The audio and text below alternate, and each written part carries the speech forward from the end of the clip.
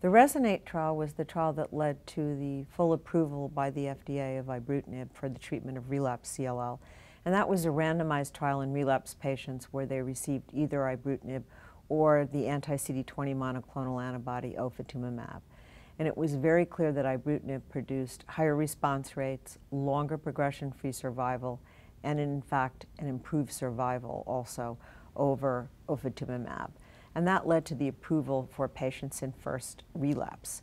So pretty much after that drug was approved for first relapse, we no longer had to use chemotherapy outside the frontline setting. The RESONATE 2 trial was a trial in frontline patients who were all over the age of 65, so older patients who tend to tolerate chemotherapy less well. And the randomization there was to ibrutinib versus chlorambucil, the alkylating agent. And again, the findings were that ibrutinib produced higher response rates, better progression-free survival, and even though that trial had a crossover design, we already see an improvement in survival with ibrutinib. That then changed the label, and the label now is also showing that ibrutinib is a treatment option for previously untreated patients with CLL. One of the nice things about ibrutinib is that some of the high-risk groups that previously didn't do as well with chemo seem to have quite high response rates to ibrutinib. So, for example, patients with 17p deletion who have very poor response to chemotherapy have excellent responses to ibrutinib. Now, interestingly, we would still consider them a high-risk subgroup, not because their response rate is inferior, but because they have a shorter progression-free survival than relapsed patients who do not have a 17p deletion. So in the phase two trial, the median progression-free survival in the patients with a 17p deletion was 32 months.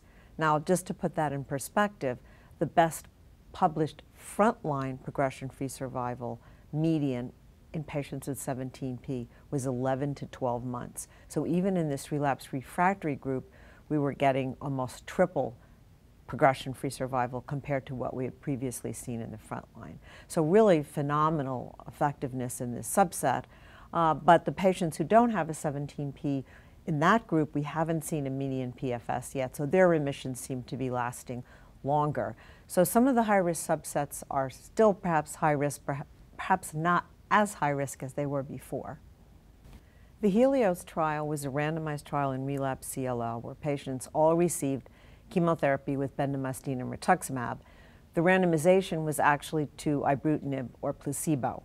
So during the chemotherapy, the patients received the chemo plus either ibrutinib or placebo, and then after the chemotherapy was finished, they continued on either ibrutinib or placebo indefinitely.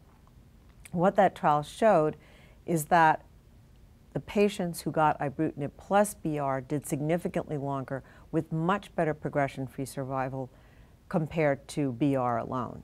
Now, when that trial was designed, BR was the most common regimen used for relapse. But of course, now we have single agent ibrutinib for relapse.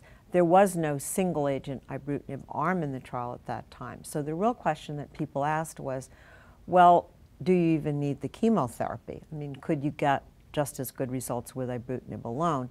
And there actually is a abstract at ASCO this year showing that perhaps the chemotherapy is adding to the outcomes with longer follow-up. And the reason I say that is the complete response rate over time now in the BR ibrutinib arm has gone up to 33%, whereas in the arm that only got a BR, the CR rate hasn't changed, of course, because they got no further therapy, and it's less than 10%. So it appears that the complete response rate is going up over time, and the relevance of that is 33% in the arm where the patients received chemo with ibrutinib is that that's higher than any reported CR rate thus far for single agent ibrutinib, including in the frontline setting. So this now two-year follow-up of the Helios data suggests that the chemo may be adding to ibrutinib. And I think we'll need longer follow-up to really know, because right now it's just so easy to give ibrutinib in relapse as opposed to giving chemotherapy.